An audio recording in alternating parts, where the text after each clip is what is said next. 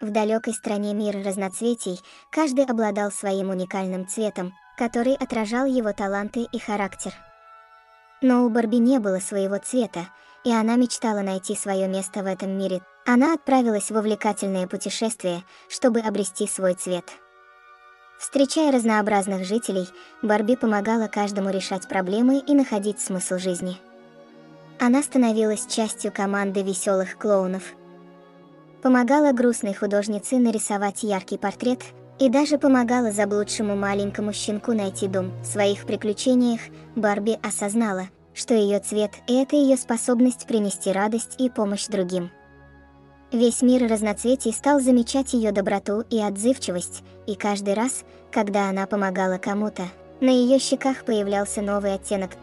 Наконец, она вернулась в свой родной город – где жители собрались на праздники, чтобы увидеть ее новый цвет.